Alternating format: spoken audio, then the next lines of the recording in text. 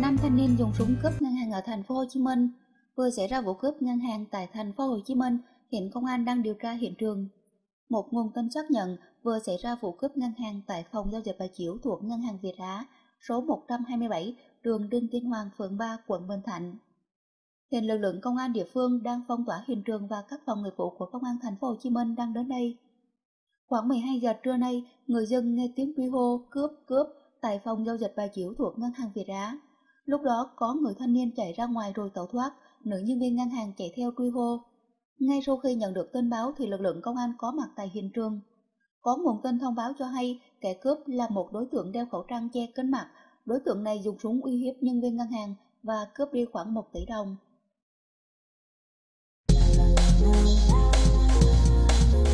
Người phụ nữ lầm ve chai trả lại 84 triệu đồng nhặt được.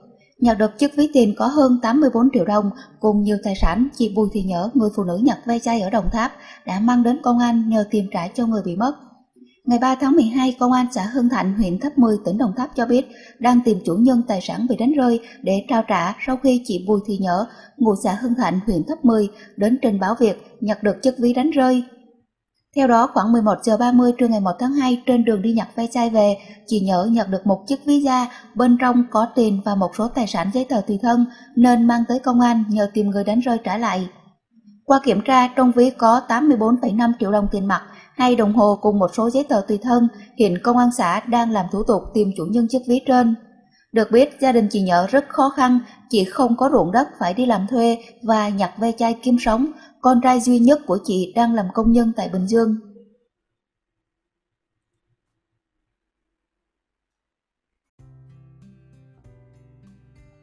Hà Nội muốn xây trường đua ngựa 10.000 tỷ như thế nào?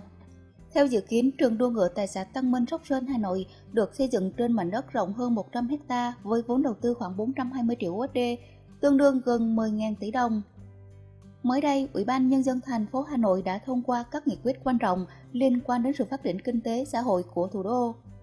Trong đó đáng chú ý là dự án tổ hợp vui chơi giải trí đa năng trường đua ngựa có hoạt động kinh phí đặt cược đua ngựa, hiện dự án đang chờ chính phủ phê duyệt. Dự án tổ hợp vui chơi giải trí đa năng trường đua ngựa dự kiến sẽ được xây dựng trên mảnh đất rộng hơn 100 ha thuộc xã Tân Minh, Sóc Sơn với vốn đầu tư khoảng 420 triệu USD. Đại diện Ủy ban Nhân dân thành phố cho biết, chủ đầu tư dự án trường đua ngựa tại Sóc Sơn là liên danh giữa một số nhà đầu tư nước ngoài có kinh nghiệm về lĩnh vực này. Dự án dự kiến sẽ tạo thu nhập cho khoảng 5.000 lao động trực tiếp. Bên cạnh đó, hoạt động phụ trợ khách sạn, biệt thự, khu nghỉ dưỡng, trung tâm mua sắm và công viên phục vụ cho văn hóa giải trí dự tính thu hút khoảng 20.000 đến 25.000 lao động.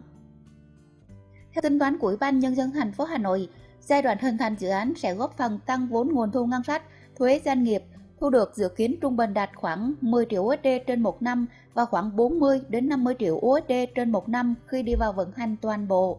Ngoài ra, tiền thuế tiêu thụ đặc biệt do hoạt động đua ngựa khi dự án đi vào hoạt động khoảng 100 đến 200 triệu USD trên một năm. Trước dự án trường đua ngựa Sóc Sơn, Việt Nam từng xuất hiện không ít dự án trường đua ngựa khủng nằm rải rác ở các tỉnh. Trong đó phải kể đến trường đua ngựa 1,5 tỷ USD ở Vĩnh Phúc. Dự án bao gồm các hạng mục như trường đua ngựa Sân Gôn 72 lỗ, khu thể thao giải trí trên quy mô 750 hecta. Một dự án cũng rất được kỳ vọng là trường đua ngựa tại Cần Thơ. Dự án này có vị trí gần đường Võ Văn Kiệt, quận Bình Thủy, thành phố Cần Thơ. Với diện tích là khoảng 150 hecta, tổng vốn đầu tư dự kiến 500 triệu USD, 100% vốn đầu tư nước ngoài. Công trình sẽ gồm 5 khu chức năng là trường đua, khu phụ trợ cho trường đua, khu vui chơi giải trí dành cho cả người lớn và trẻ em, khu nhà ở, nghỉ dưỡng và cơ sở thể thao. Dự án trường đua ngựa 500 triệu USD ở Bắc Ninh cũng đang trong quá trình triển khai. Khi dự án đi vào hoạt động sẽ hình thành loại hình thể thao giải trí thu hút từ 5.000 đến 10.000 lao động. Bên cạnh đó phải kể đến trường đua Đại Nam khánh thành vào ngày 1 tháng 5 năm 2017 đây là dự án quần thể trường đua đa năng Đại Nam thuộc khu du lịch Đại Nam Bình Dương. Công ty cổ phần Đại Nam dành 100 triệu USD và 60 hecta đất trong khuôn viên khu du lịch được để xây dựng các hạng mục gồm đua ngựa, đua chó, đua xe ô tô, đua xe mô tô, đua xe mô tô nước, đua xe địa hình các loại. Khu ổ chuột lớn nhất trung tâm Khu Mã Lạng được bao bọc bởi bốn tuyến đường lớn là Nguyễn Trãi, Nguyễn Cư Trinh, Cống Quỳnh và Trần Đình Xu đều thuộc phường Nguyễn Cư Trinh, quận 1 thành phố Hồ Chí Minh. Một số người dân ở đây cho biết, trước năm 1975, nơi này là nghĩa địa, với hàng chục ngôi mộ nằm lộn xộn, xen lẫn nhà dân. Lạng qua lạng lại đều thấy mả. Nên người dân gọi là mả lạng. Năm 1975, cả khu vực này bị cháy rụi, sau một trận pháo kích.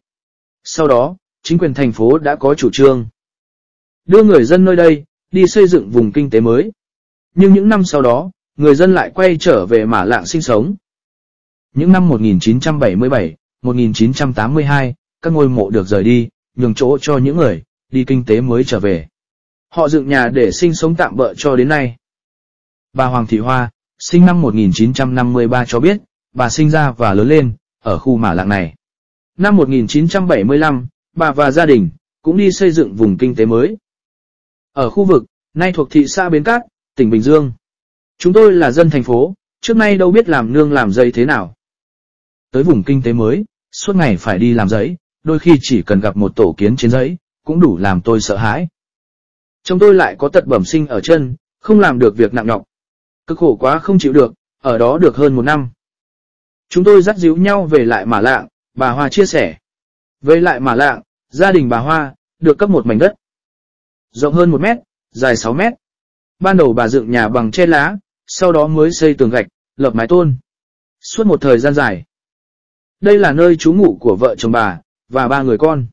Hàng ngày, bà Hoa bán hủ tiếu, ngay trước cửa nhà, để bán cho bà con. Quanh khu mả lạng vào buổi sáng, bằng cách bưng tới tận nhà cho khách.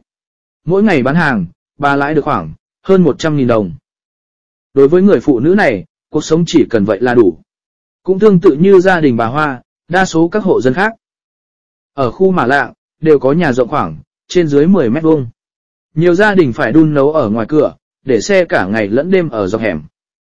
Vì trong nhà quá chật, cuộc sống của họ chủ yếu nhờ vào công việc, buôn bán nhỏ ở lề đường, quanh khu vực quận 1. Phải được đền bù, từ 200 đến 300 triệu, một mét vuông mới di rời. Được biết, từ năm 2000, khu ổ chuột Mã Lạng được lập dự án, rồi giao Tổng Công ty Địa ốc Sài Gòn thực hiện. Đến năm 2006, dự án được chuyển giao cho tập đoàn Bitexco, xây dựng cao ốc văn phòng. Trung tâm thương mại, căn hộ, kết hợp chỉnh trang đô thị. Theo thống kê, khu vực này có diện tích, đất thu hồi hơn 6,8 hecta. Tổng số nhà giải tỏa, gồm 1.424 căn. Tuy nhiên đến nay, dự án vẫn dậm chân tại chỗ. Trao đổi với phóng viên về việc này. Nhiều người dân ở khu Mả Lạng cho biết, họ có được thông báo về việc khu vực nhà mình nằm trong diện quy hoạch dự án.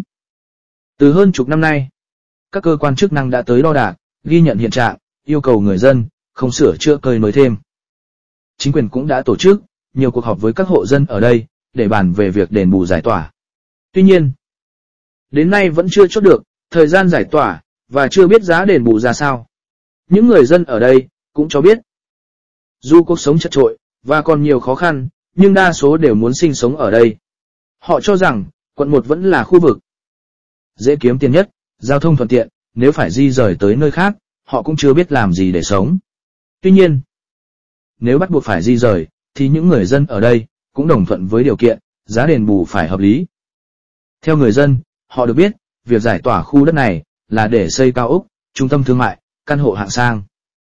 Ngay giáp khu mà lạ, cũng đang có dự án, căn hộ hạng sang, Alpha City, đang xây dựng và được chào bán, với giá từ 8.000 đến 10.000 USD trên 1 mét vuông. Vì vậy giá đền bù cho người dân bị giải tỏa cũng phải tương xứng.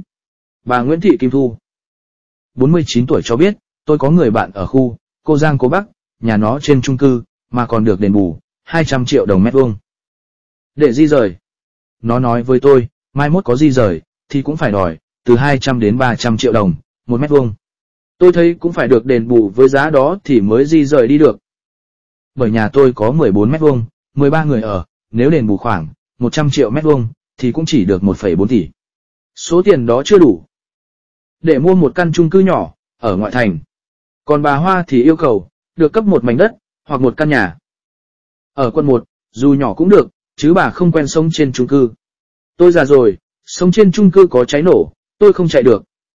Hơn nữa, ở chung cư tôi cũng không thể, bán hủ tiếu được nữa. Do đó, mong được đền bù tái định cư, một cách hợp lý. Bà Hoa chia sẻ,